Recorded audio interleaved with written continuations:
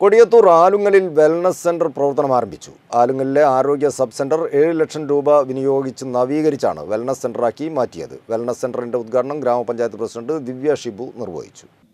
ദേശീയ health mission അനുവദിച്ച തുക ഉപയോഗിച്ച് നിർമ്മാണം പൂർത്തിയാക്കിയ കൊടിയത്തൂർ ഗ്രാമപഞ്ചായത്തിലെ ആലുങ്ങലിലെ വെൽനസ് സെന്ററാണ് പ്രവർത്തനം ആരംഭിച്ചത്.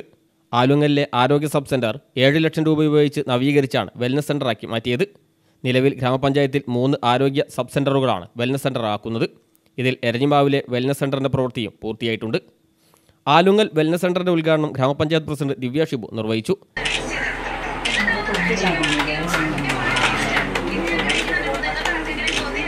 Ward member K G Seenath അധ്യക്ഷയായി. ഗ്രാമപഞ്ചായത്ത് വൈസ് പ്രസിഡന്റ് ഫസൽ കൊടിയത്തൂർ മുഖ്യാതിഥിയായി. സ്റ്റാൻഡിംഗ് കമ്മിറ്റി അധ്യക്ഷരായ മറിയംകുട്ടി ഹസൻ ആയിഷ ചേലപ്പുറം ബാബു പുലുവെന്ന്. പഞ്ചായത്ത് അംഗങ്ങളായ T K Aboobacker M T Riyas Fathima Nasar medical officer doctor Maya രാഷ്ട്രീയ പാർട്ടി പ്രതിനിധികൾ തുടങ്ങിയവർ ചടങ്ങിൽ സംബന്ധിച്ചു.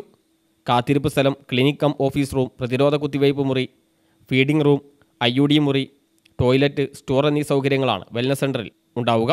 സി പ്രാദേശിക വാർത്ത മുക്കം.